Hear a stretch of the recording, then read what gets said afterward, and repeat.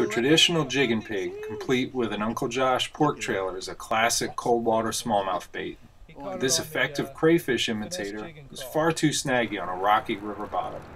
The solution? The Confidence Baits Finesse Jig and Craw, built upon the frame of the snag-resistant dragon head.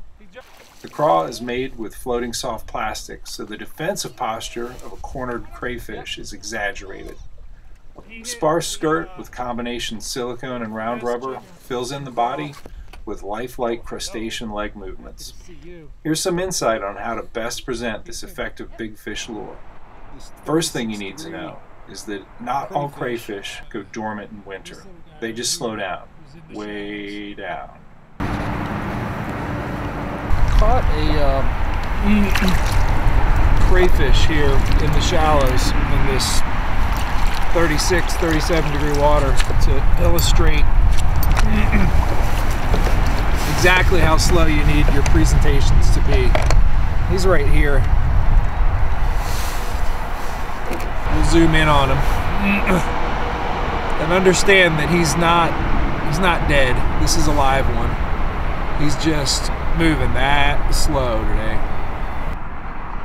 An old winter fishing adage goes, fish as slow as you can. When you think you're fishing slow enough, slow down a little more.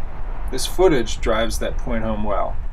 Instead of dragging a jig and craw, trust that its subtle built-in action of floating soft plastic and round rubber are all that you need to convince a big smallmouth to bite. Too much action convinces them not to bite.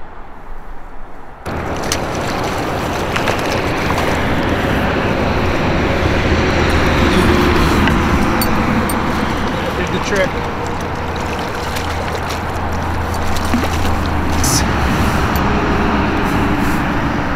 Dalmatian looking smallmouth. Look at those spots on him. Put him back, see if we get another. It was a real crisp, not a hard hit, but a crisp one. It's important in uh, knowing what it feels like. A lot of people ask, you know, to feel like when they hit. Well, part of the trick is is not moving it around much because the more you move it around, the more you feel that it banging and, and there's a constant vibrational noise of it banging over rocks and tumbling. If you quiet that noise by letting it sit, when you do feel something, you'll know, hey, that's a fish.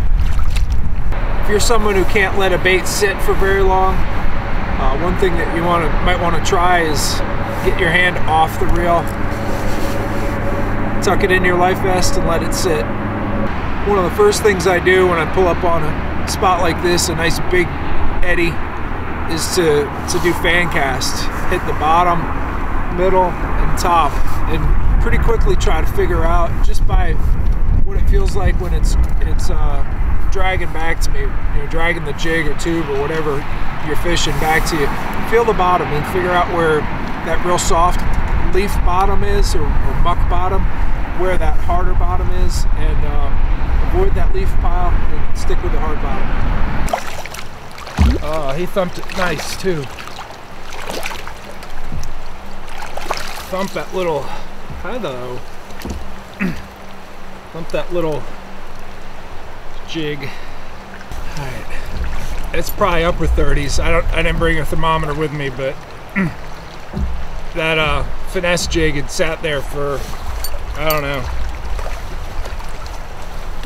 25, 30 seconds. But understand that it's not really just sitting still when a fish like this picks it up. It's sitting on the bottom and that that floating plastic of the, the crayfish claws is sitting there doing this. Just kind of waving its arms saying, how you doing? All right, let's go get another one. That didn't take long to come back for number two. That was the next cast. Takes less than a minute to retie. With the memory of a lost a big fish because you didn't retie, that lasts a little bit longer. Also gives you a chance to reapply your scent. Tactic that helps with jig and pig, if it doesn't have a rattle, is to just kind of shake it. I do the same thing with the jerk bait sometimes, you just shiver it. But what that does with that, that lead head the jig and pig is it taps against that rock, makes a sound, draws them in, just, you know, the clicking of a crayfish moving around, banging on stuff, the shell knocking into things, or I don't know. Maybe it has nothing to do with noises that crayfish make, but it works. It, you know, just taking that that lead head and going tick tick tick tick tick, just shaking it. You don't move it, you don't hop it, you just kind of bounce it, bounce it, bounce it without it moving towards you. All right, there he is.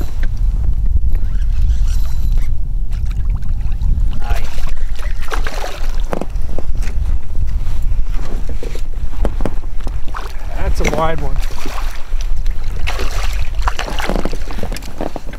I'm really missing my net right about now.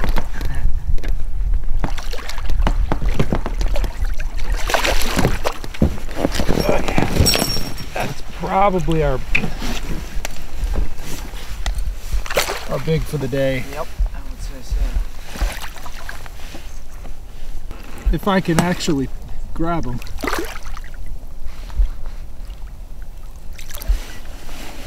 This is almost embarrassing how much I can't lift fish because I was so used to netting. All right, get in there.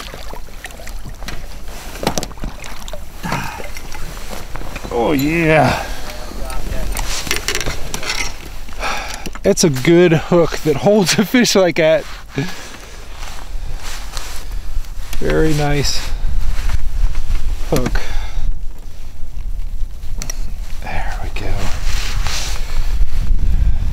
My go-to finesse jig and craw. Finesse jig and craw, blueberry, 19 and a quarter, four pounds on the nose. Oh yeah. Good one, Matt. Oh, that one might be a 19 or 20. Yeah, it's a good fish. You dandy. He'll go 19 plus.